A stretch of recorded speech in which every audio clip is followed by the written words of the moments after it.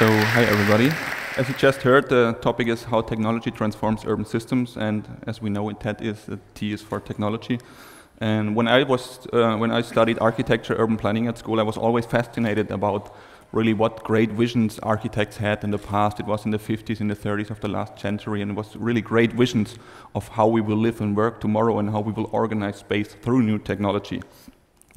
And I would just take you on a little tour then, maybe sh uh, show you, uh, we have to go back a little bit to, to see how technology has formed the city and what is the actual impact you can say today, and then see what might be the outcome or the outlook, of course, of the next decades we have before us. So if we go back a little bit, I, am sure some of you know the, the series The Jetsons, which was uh, started, which started in the 60s. And uh, the Jetsons was a family that at that time uh, living in the 21st century, and it was really they had all kind of technologies, appliances, and it, the technology really uh, made their life more comfortable. Fun fact is, of course, that we, when they thought in the 60s about uh, future information, they just had these punch cards to order the flying meals, so it was not everything so so much forward.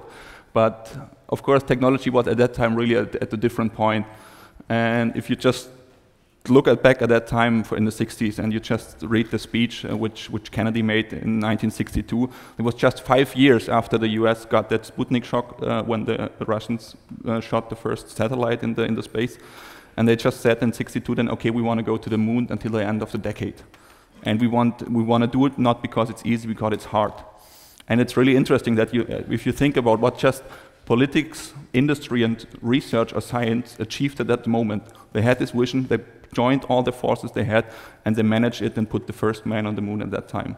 So I think it was pretty exciting time, definitely.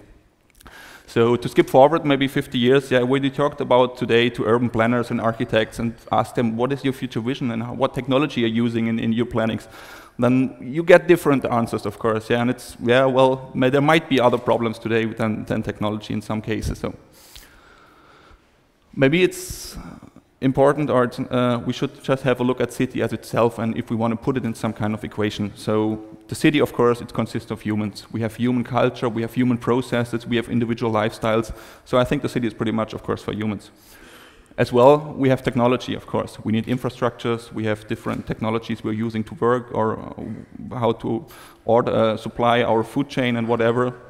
So technology, I think it's also as essential as, as culture there.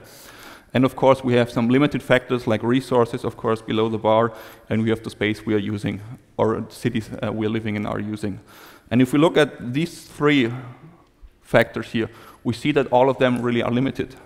Human development or population growth will have an end in this century, I think. Resources we are using, most of them are finite and they will uh, deplete. And of course, we have space we can use more and more efficiently, but actually it's also finite, definitely, on this earth. And the interesting part is that the technology we have has always, throughout history, been an unlimited resource. And you always have been a new solutions to existing problem or existing challenge. So actually, what have we done then in the last, in the, in this past? We have built cities.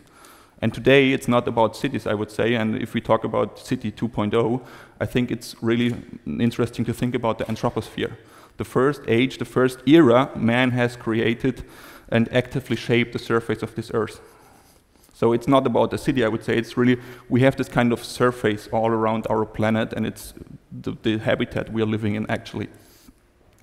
So I just want to have you a short uh, introduction, or maybe a short review then about the last uh, 300 years, and have a look at these different ages that I want to just go quickly on. And to start with, of course, maybe if we go far away, we had this manual age. Manual because we had manual labor. Everybody at that time had a life expectancy maybe of 35 years. People worked 80 hours a week, so not uh, pretty much compared to today. And the cities we had at that time, you can see in the small pictures, was about perfect geometric forms, and it was about central power. And, and uh, of course, they had a very important issue, they provided security. If you look at the city of that time, for example, here, it's pretty much easy structures. You have city walls, you have the church, you have the town hall in the middle, you have housing around, and you have fields outside the wall uh, to supply the city with. So at that time, life was hard, but simple maybe. So if we skip forward then to the mechanical age, which is about pretty much from 1700 to 1850, you also see that cities there at that time are changing. It was not only about providing security. If you look at cities like New York or Washington, it was also about money. Suddenly, it was about real estate. It was about providing spaces for a growing population all over the world. And why was it like that? What was the, the, the, key driver, the key technology? It was a technology like this, the spinning jenny from Richard Arkwright in 1764. And it was not about mechanizing work at all, or of course it was uh, to some part, but the actual interesting part is that you uh, didn't replace a worker by a machine. It was that uh, just the case that you increased productivity instead. You could uh, put a machine like this one, and you not uh, you don't need only one supplier anymore to support this machine. You need six. So you just uh, increase the productivity by six, and that was the time, of course, when when cities really get that huge population growth and migration from all over the world. And a nice aspect, if you look at infrastructure technology, for example, is that uh, the city of Vienna was the first one, I think, of the, of the whole world at that time to have a full sewage system to provide, you can say, sanitary, hygienic uh, conditions for all of the 400,000 inhabitants. And that one got a role model for, for uh, a lot of other cities in that time. And you can say this was one of the first centralized systems or urban systems, as we call it, uh, in the city, which connected all the buildings together and uh, under one roof or one technical uh, condition, you can say. So what comes after then? We have the industrial age, of course, it's like the second industrial revolution, if you want. And we had the problem really that we have to restructure our cities. We had Paris, for example, where there has been the Haussmann uh, reorder, uh, reorganization, where, where, it really was about how to manage this sheer growth of city, this sheer population growth within the visible, uh, the, within the, the space there is available it. And we had technologies, for example, like this one. It was the, uh, the the railway, which was uh, invented at first in, in 1826, but then a few decades later, you had the idea of put it underground. Why do we have it uh, on the surface if we can put it underground? And this one is the picture of the first underground railway then we had in, in London in 1863. And it just was the first time, you can say, when, when mass transports enable people to work at one place and uh, live at another. And it was just a rush then at the end of the 19th century and London at that time grew to the biggest megacity in the world. And this was the horizontal dimension, you can say. Another part which happened pretty much at the same time was the elevator. There was a, a time, 1854, in a World, in World Fair in New York, when Elisha Otis stood on that platform, and you just have to think about what the people were thinking when he just cut his own rope the platform was hanging on. And of course, it didn't happen because he invented that kind of safety mechanism, and everybody saw, okay, this is technology. And yeah, if you just think about then the next decades, you had this vertical high-rise evolution of the cities. You had New York with the first skyscrapers. You had advanced in construction technologies and, and other stuff. And this was the vertical dimension of the cities, and it was all dependent on this single technology, you can say. And if you skip forward a little bit, of course, there was something like the the draft of La Ville Radieuse from Le Corbusier in 1924, and I just like this picture because he still has this, his, this figure like, like uh, Michelangelo in, in his Sixtine chapel, when he thinks, yeah, I have under everything under control, and I have space, and I reorganize space, and I use technology, and everything is fine. Of course, this one was never built, and also because of, well, technical evolution go, went on, and you can say we had then shortly after the digital age, from 1950 maybe to 2000 or already today, and this one changed a lot, uh, definitely in the in, uh, case of technology. So does anybody know what this is? This is actually, you can say, the father of the smart city, maybe, or the father of the Internet of Things. And it was the first integrated circuit or microchip Jack Kilby invented in 1959 at Texas Instrument. And you just think about if you heard this morning this talk about uh, the the uh, quote of Thomas Watson from IBM when he said, four years later, I think there's a market for five computers worldwide.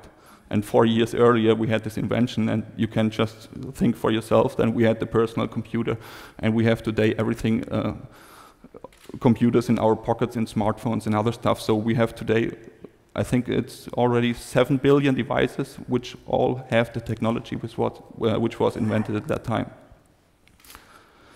And of course, if you look then on urban development, uh, you see that suburban settlement grew on. You had this urban sprawl in the US, and it was not only because of the digital age, of course, you had other, well, uh, rise of comfort technologies, you had affordable cars, you had refrigerators, you had washing machines for each household, and everybody liked it because it was, they made it independent, and you see what impact it had, of course, on the city development. And this is actually the heritage we have to deal with today still. And this one was only part for the northern hemisphere. If you think about when went this whole urbanization or when, when, uh, when did it take place on the southern hemisphere, it was dependent on one key technology, you can say. And it was the invention of the in-window air conditioner in 1948. Uh, and this one, if you look on just this example here on this picture, was really the, the driver for office high rises, for, for, for new urban space all over the southern hemisphere. And you just see, if you look back on the last 50 years, how this uh, development took off after that.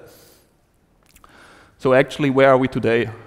If you look at, uh, at the short history I just showed you, maybe uh, I have to, or I dare to say, that we have lost a little bit of, or we lost or decreased our human degrees of freedom.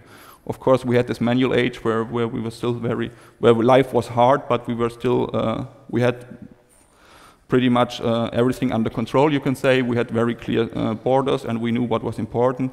And then we had new technologies, you can say, in the mechanical age, in the industrial age, digital age.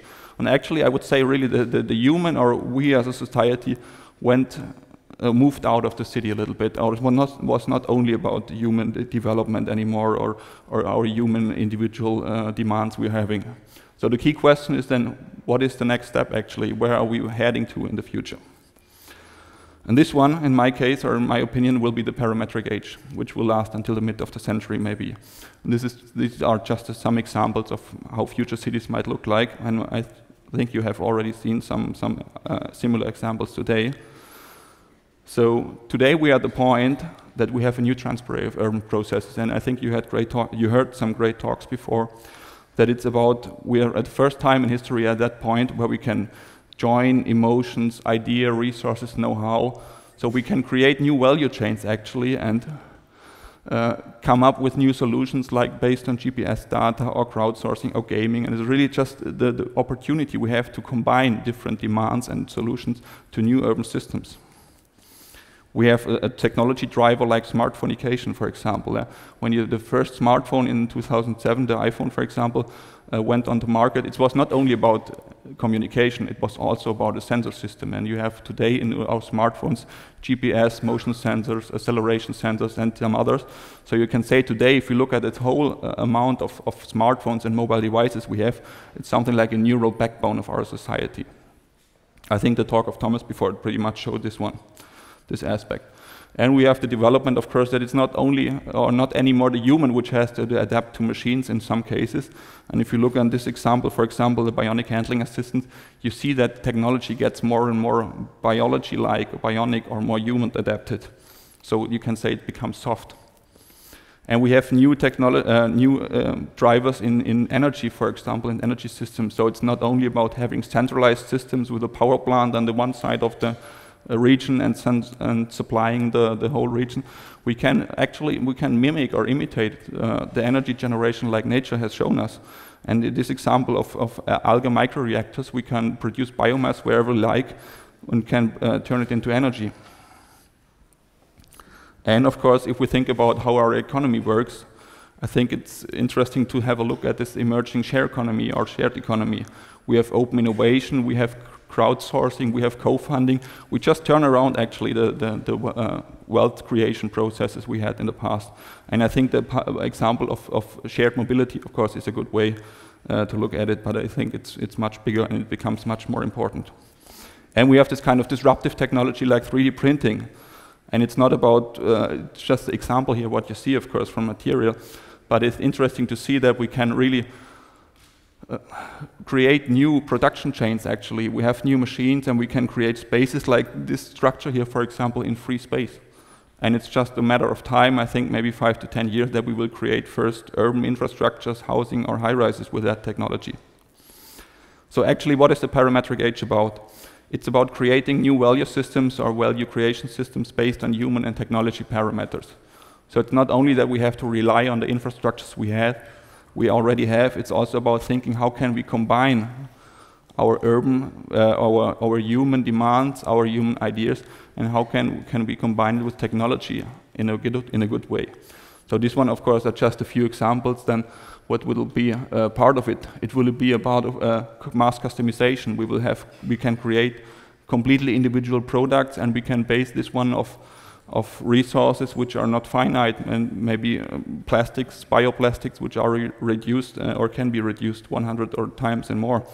We have crowd, uh, we have uh, a cloud mobility, for example. We have network processes, and as I said before, we can really combine these different aspects we have today in our cities in a good way, and can create new, smaller, and other urban systems in future.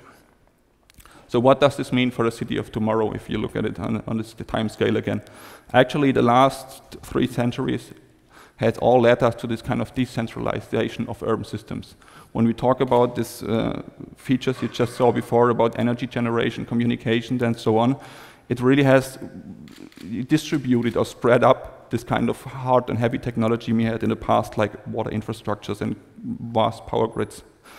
And I think the parametric age will just lead us to this point where we can reorganize these problems we have, how, we, how to supply uh, citizen, how to grant mobility in the, in the city of the future, and so on. So I just want to show you maybe this one in, in the short graph. So maybe you can consider cities today as megastructures. If you look at Hamburg, it's a large urban area, of course, and it has some centralistic or central systems like mobility system or the, or the water infrastructure or the energy system. And the idea is, or what is, or actually what we have to do in future, I think, is to, to invent, of course, and induce the right technologies, which might lead to distributed urban systems, to the development of new light urban systems, and also to the, uh, to the opportunity or the, the, uh, the chance where we can reorganize our urban spaces, maybe create micro neighborhoods which have uh, their own energy supply or some other uh, microstructures which are more human-like and maybe more are, are, more based on, on the communities we have or the, the community structures in, in between. So one thing is for sure, our environment is dynamic, and the question is, or actually maybe everybody has its own opinion, what are our cities today? Are these these large dinosaurs which are relying on a lot of supplies of resources and take up a lot, or and will they manage maybe that jump from, from this large and heavy life cycle, you can say, to a more evolutionary and more dynamic system?